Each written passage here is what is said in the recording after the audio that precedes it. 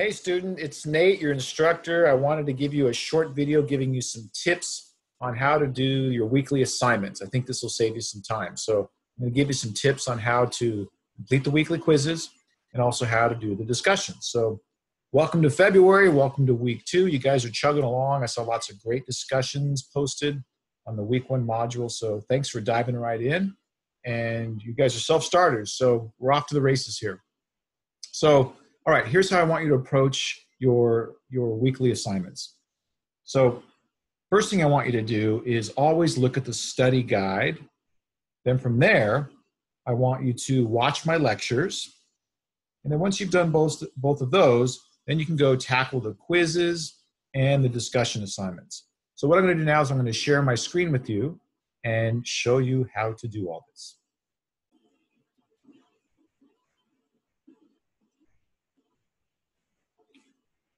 Okay, so let me pull up the main page here. Go back into the Canvas site.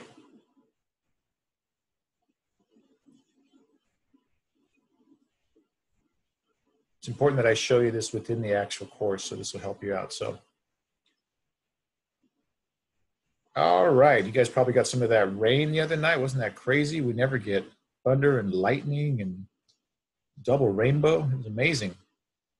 I'm in the modules view right now, which is the default view. This is the instructor version. The student view looks slightly different. A couple of things I want to point out here. The printable versions of instructor lectures, you see those right here. If you click on this, you can get the lectures by week within here. So this is a good resource. If you don't have time to watch my videos, you can go in here and scan them that way. But to tackle your weekly work, so for example, let's roll down. Let's assume we're in week three. Right now, you guys are on week two. You see here in week two, you have a quiz, you have a discussion. Week three, you have a quiz, you have two quizzes, and you have a discussion and a written assignment. So for each week, the first thing you want to do each week before you even listen to my lectures is look at the study guide. So the study guide is available in a bunch of different places. But the easiest way to find it is go to the Start Here module, Welcome to Principles of Marketing, scroll down to Major Projects and Resources, and scroll down to Study Guide. So that's a Google Doc. So you see the study guide is listed by week you scroll down to whatever week you're on, like example, we're in week two. These are the terms that you need to know for week two with some annotated short definitions. You can do Google searches. You can do other searches to find more expansive definitions of these terms. Have these terms in front of you before you look at the lectures and before you take the quiz. This will help shape your and focus your study strategies. All right, so I see these truncated versions of the terms, but I might need more.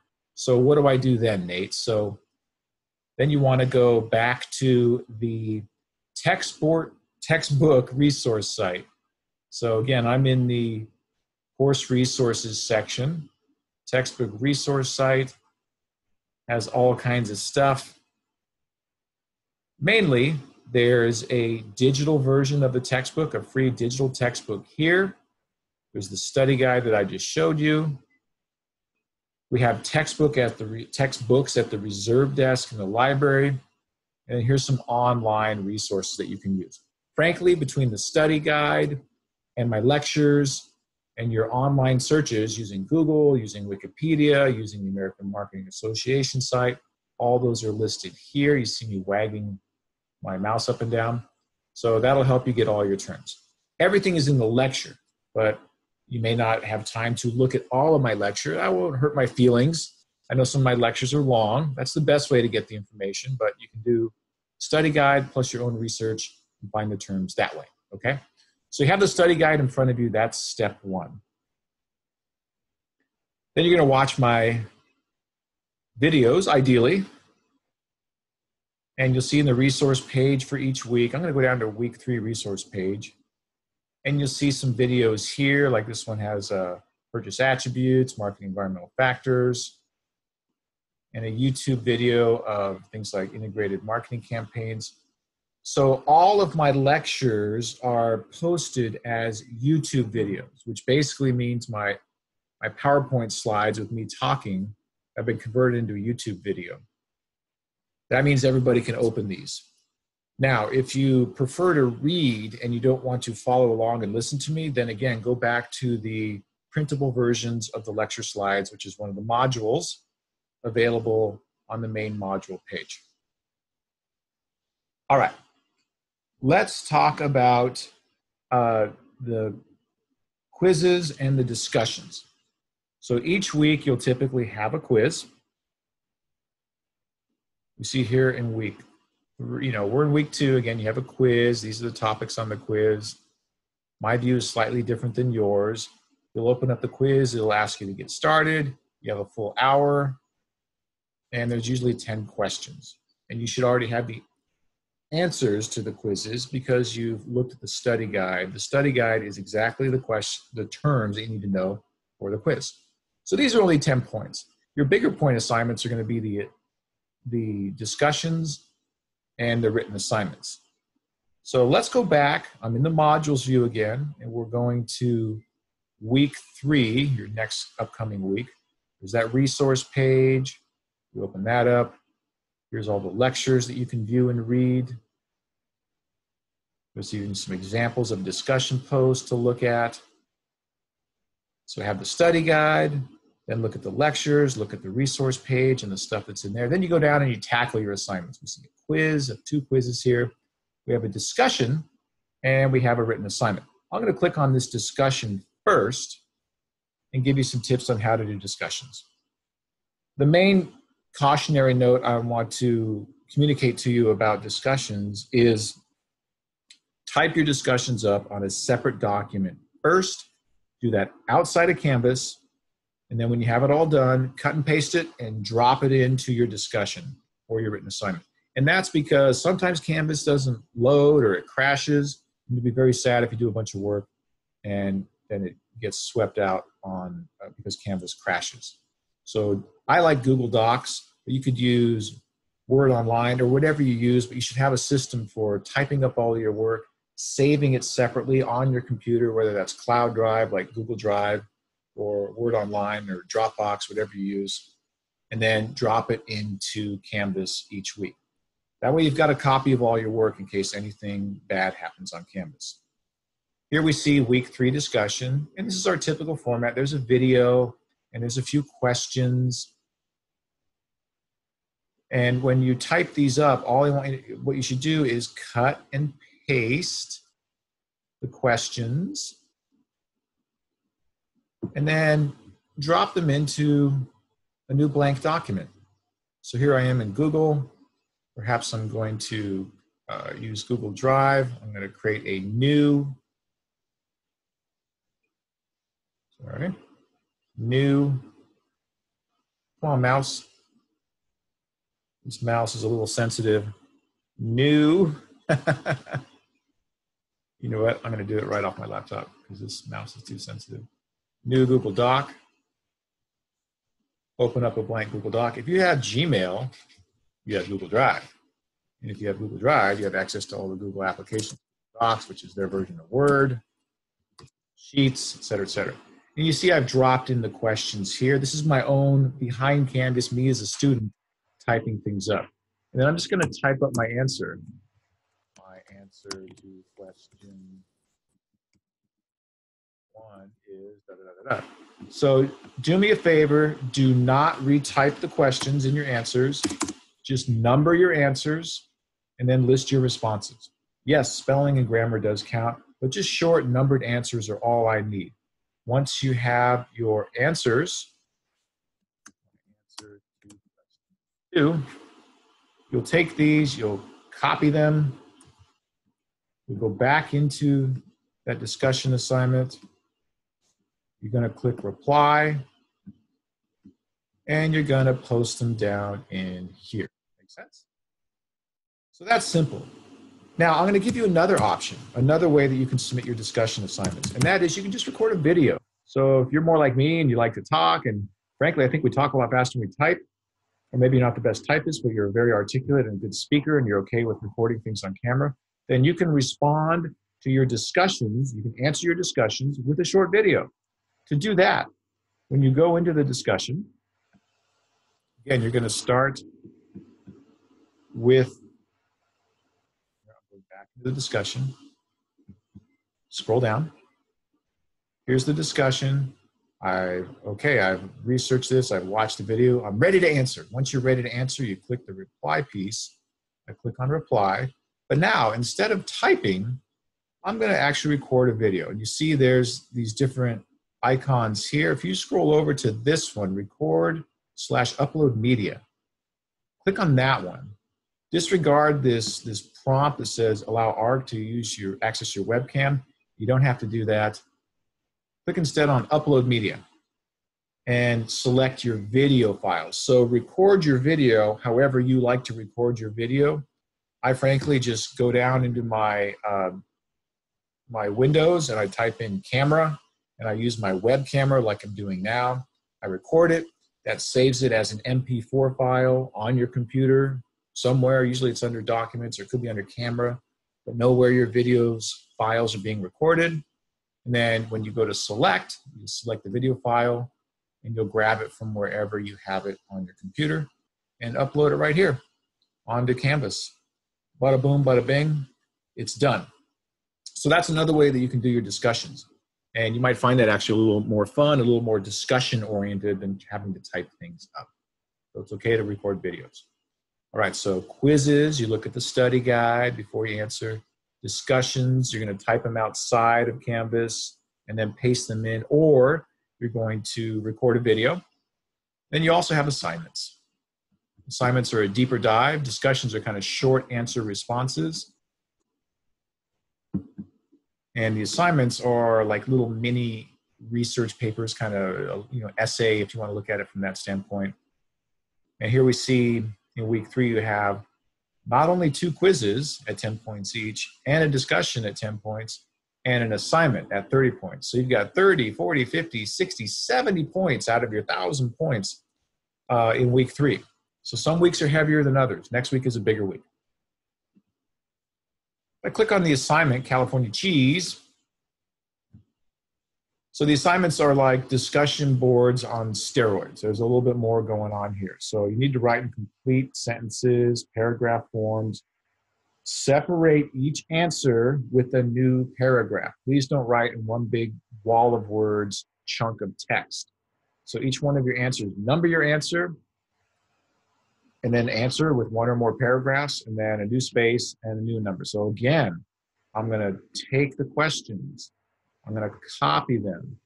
I'm going to move back over to my Google Docs or whatever I use to type stuff up. I'm going to paste them in. Here's my questions. I watch the video, and as I'm watching the video, I'm answering the questions. My answer to question one. And please don't type like I am, like your answers shouldn't start with my answer to question one is. Just type up your answers. I'm using this just as a placeholder Okay. and you go on through. And then before you paste your answers into Canvas, delete all the questions out, the assignment questions. I don't need to see the assignment questions again. Now, in your assignments, discussions, you paste directly into the reply box and then you submit it or you record a video. With the assignments, you're going to type them all up. They're going to be longer. And when you're done, you're going to file, download as, this is using Google Docs, or if it's Word, you're going to do file save as. You're going to download as a PDF, portable document format. Please, all of your assignments that you need to submit up as an assignment, they need to be saved as a PDF. PDFs are guaranteed that I can open them. Some of you have, perhaps you're working on a Mac or some kind of different software, and inevitably, when you go to load it up, I may not be able to open it. So I'm allowing you to submit Google Docs, Word, and PDFs. Um, so please save in one of those three formats. PDF is preferred. I can always open those.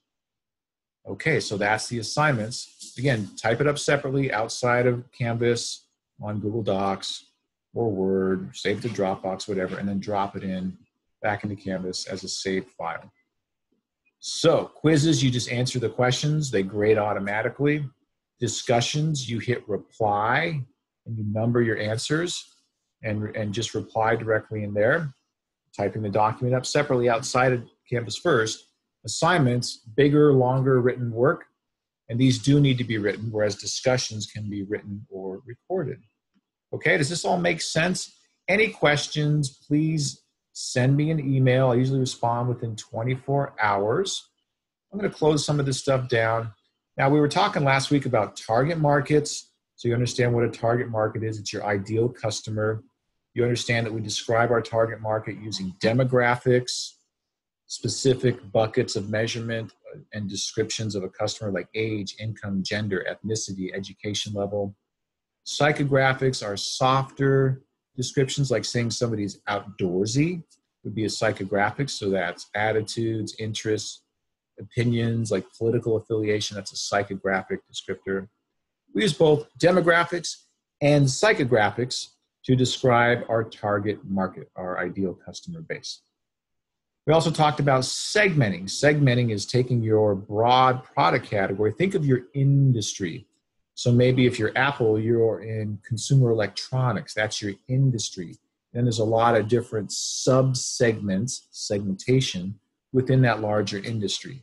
So there's mobile devices and there's computers. Uh, there's a variety of devices within consumer electronics. There's TVs. Those are the different product segments. There's also the different customer segments. Let me give you an example. So I'm still sharing my screen, and now I'm showing you.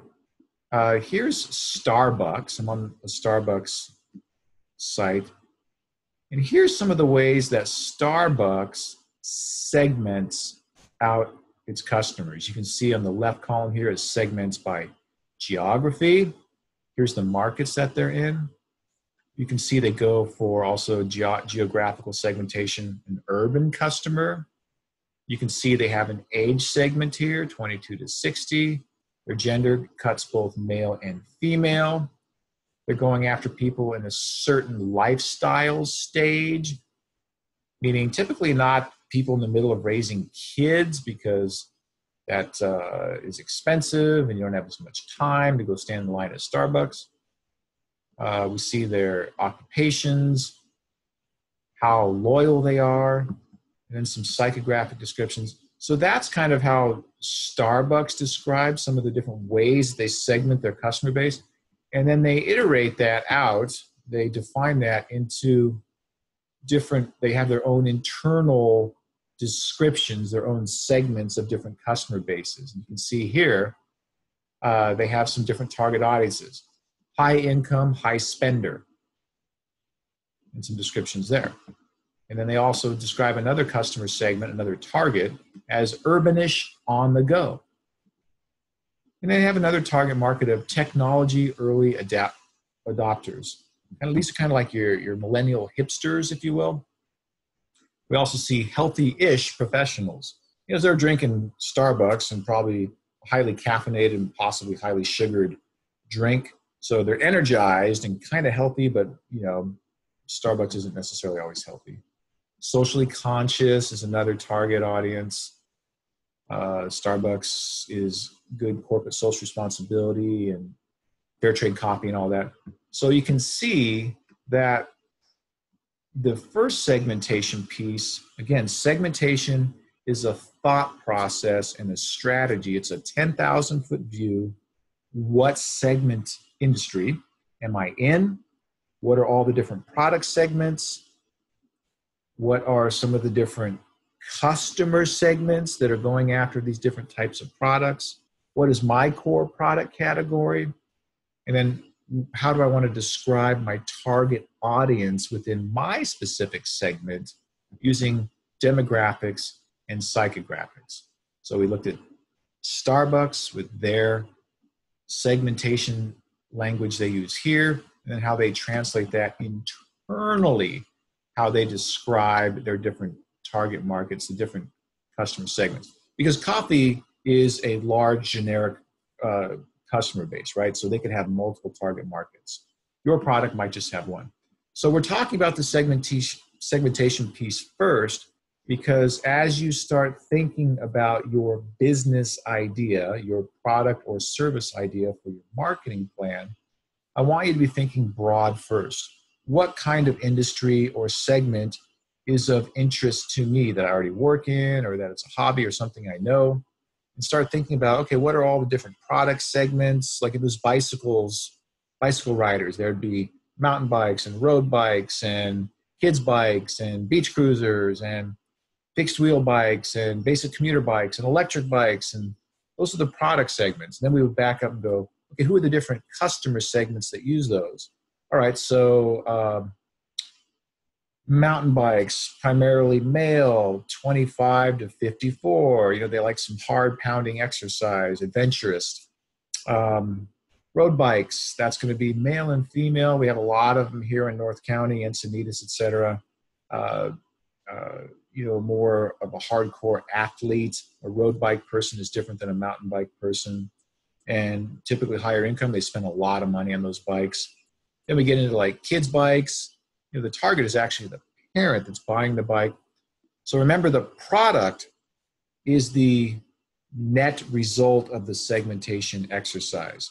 It's not the segmentation itself. We're always looking at who's the customer that we're serving with the product. Is this getting you confused? So it's week two right now. By week five, you need to have a product or service idea identified for your marketing plan because we're going to start stair stepping your marketing plan throughout the semester. So as you're learning these terms and taking quizzes and doing discussions related to uh, your topic of the week, this is all building your knowledge to help you write your marketing plan. Let me give you an awesome resource that can help you with coming up with a product idea for your marketing plan.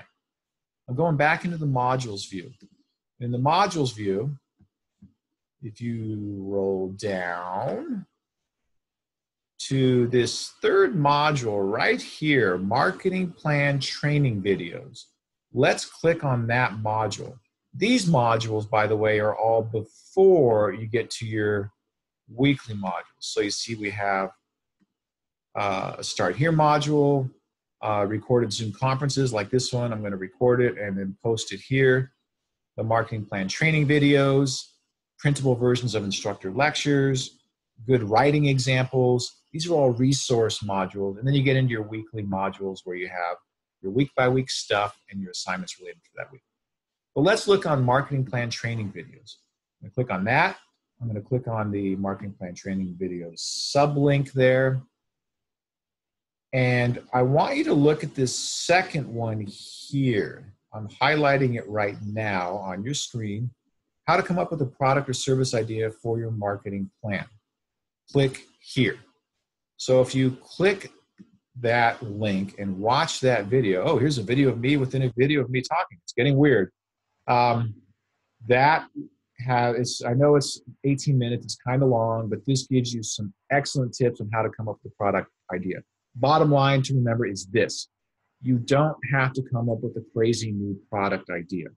Okay. So most of the new product ideas are already out there, they've already been done. So rather than come up with a new product idea, like maybe I'm like, I have a great idea for a solar powered laptop. Guess what? It's already been done. You can also have a new laptop idea by how you price the laptop or how you distribute the laptop. Maybe I do a, I do a pay-per-use laptop model where you can rent the laptop. And maybe I distribute it at colleges and through kiosks where you can swipe and uh, grab a laptop, use it on campus, and then return it and only pay for the time that you use the laptop. So that's a different pricing model and that's a different distribution model. And hopefully by now, after your week one work, you understand the marketing mix is composed of product, price, place, and promotion. Those are the four marketing mix variables that we use to differentiate ourselves, make our product and or service different from other competitors.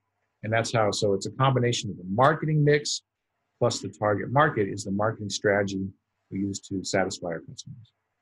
All right, so that's a lot I just covered. I'm gonna close some of these extraneous windows. Those are some great tips on how you can tackle your assignments Any questions, as always, please don't hesitate to contact me. That's what I'm here for.